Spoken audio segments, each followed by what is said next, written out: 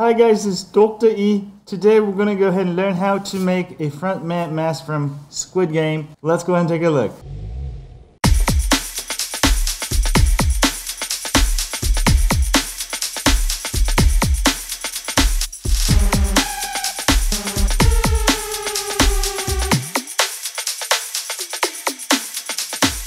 So go to this particular guy because you don't need supports.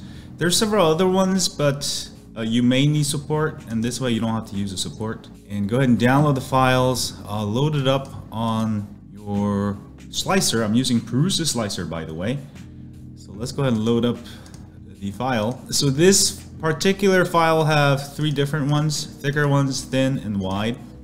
I'm gonna actually print the wide one uh, because uh, I want to make it make sure it fits my face. I printed some of the other ones earlier and it didn't work out for me. It was uh, too narrow. So let's go and load this up. And you can see you can print this without any supports, which is really nice. Looks pretty good. We're gonna go ahead and actually just print it a little bit bigger we can. The uh, scale factor of one, 105 because uh, I think my face is a little bit bigger. So let's actually print it 110. A little bigger, I think better than a little too small. So I'm gonna print it at 110. I'm gonna actually have it quality. That's infill 15%. Infill won't matter so much on item like this because the walls are so thin. There's not really any infills. Uh, it's gonna take 11 hours and let's go and print it out and see how it, it comes out.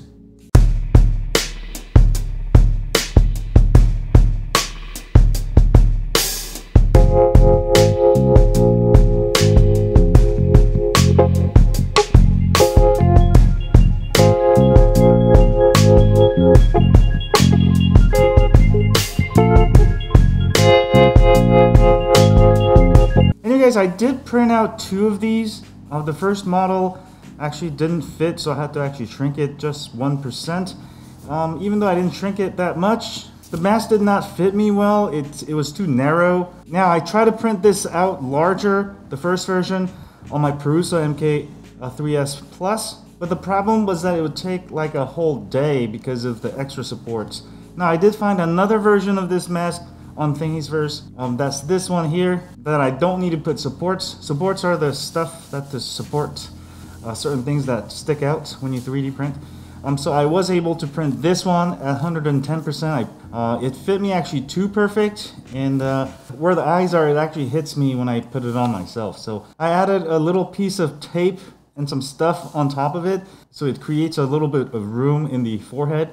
Now it fits perfectly, and I'm ready to go scare the kids. Anyway, have a great day, guys. Subscribe, like, and bye. That was Dr. E.